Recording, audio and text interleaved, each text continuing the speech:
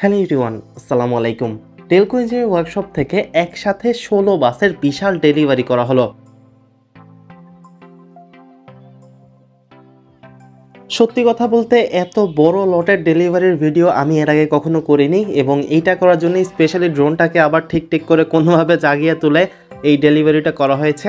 অসাধারণ কাজ করা হয়েছে বাসের বডির ইন্টেরিয়র পার্টে এবং বাসের এক্সটেরিয়র পার্টে ওভারঅল ষোলোটি বাসই একই পেইন্ট রাখা হয়েছে, তবে মোস্ট ইন্টারেস্টিং ফ্যাক্ট যেটা আপনারা দেখবেন, বাসের বডিগুলো লক্ষ্য করলে যে অনেকগুলো ডিফারেন্স কিংবা অনেকগুলো নতুনত্ব কিন্তু এই বাসগুলোতে নিয়ে এসেছে ডেলকো বাসের ফ্রন্টটি রাখা হয়েছে পুরোপুরি হোয়াইট কালারের যেখানে হালকা একটু ব্ল্যাকের শেড রয়েছে এবং কিছু বল পেইন্ট আপনারা এই বাসে দেখতে পারবেন। ফ্রন্ট ডিজাইনটা অনেক বেশি ইউনিক এবং ফ্রন্টটা পুরোপুরি সাদা রাখার কারণে যেটা হয়েছে যে, যখন বাসের লাইটস অন থাকে বা ইন্ডিকেটার্স অন থাকে ওভারঅল বাসের ফ্রন্ট লুক অনেক বেশি অ্যাট্রাকটিভ লেগেছে আমার কাছে।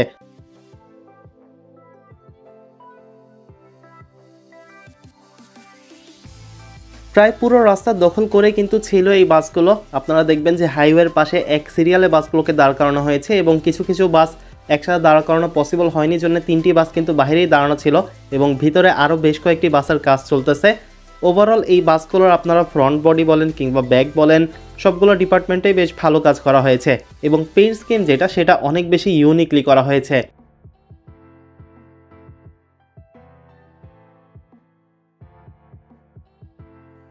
সো প্রথমে আসি বাসের ব্যাকের ব্যাপারে। এখানে আপনারা কিন্তু লাক্সানা এসআর টু এক্স এইচডিপাই মডেলের বাসগুলোতে যেই টেল লাইটগুলো ইউজ করা হয়েছিল এবং বার লাইটগুলো ইউজ করা হয়েছিল, সেই একই রকম টেল লাইট এবং বার লাইট দেখতে পারবেন।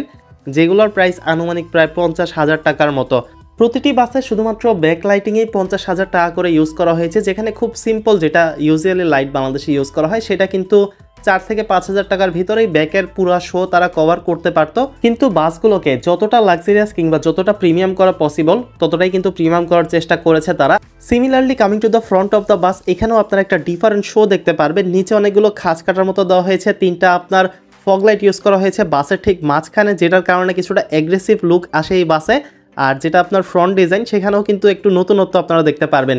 যে জিনিসটা খারাপ লাগছে যে লেল্যান্ড বাসে হিনোর লোগো ইউজ করছে, তারা চাইলে অরিজিনাল লোগোটা ইউজ করতে পারতো। বাট ওভারঅল বাসের যদি আপনি বডির কোয়ালিটি দেখেন, সেখানে কিন্তু কোনো রকমের কম্প্রোমাইজ করা হয়নি।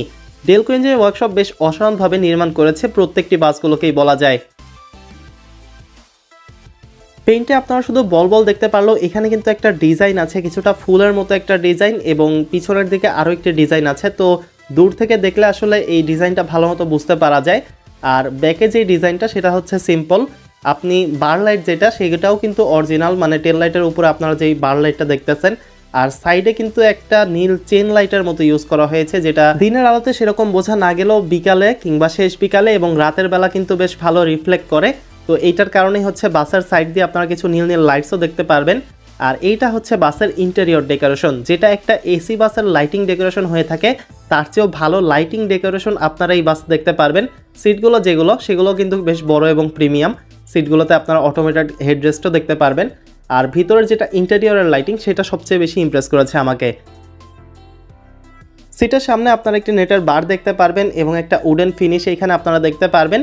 এবং যেটা হচ্ছে বাসের ইন্টেরিয়রের লাইটিং ডেকোরেশন এবং লাইটিং ফিনিশিং সেটা হচ্ছে যাত্রীদের একটা প্রিমিয়াম ফিল দিবে ওভারঅল বাসের ড্যাশবোর্ডেও কিন্তু অনেকটা চেঞ্জিং ড্যাশবোর্ড আপনারা পাবেন। এসি বাসের ড্যাশবোর্ড যেরকম হয়ে থাকে, একই রকম ড্যাশবোর্ড আপনারা এখানে পাবেন এবং ড্যাশবোর্ডেও আপনারা একটি চেন লাইট দেখতে পারবেন ব্লু কালারের এছাড়া উপরের দিকেও কিন্তু বেশ একটি লাইটের ইউজ করা হয়েছে।